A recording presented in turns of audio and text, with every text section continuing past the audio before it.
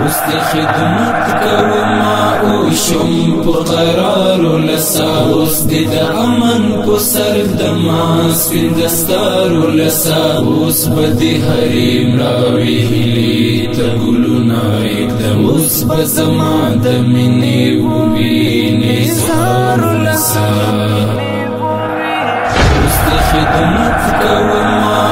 شم په قرار لسا اوس دې د امن په سر د ماس په دستار لسا اوس به حریم راوي هلي ته ګلونه اقدم اوس به زما د مینې ووینې سار لسا اوس دې بچي د علم پوهې تر مکتب بیایم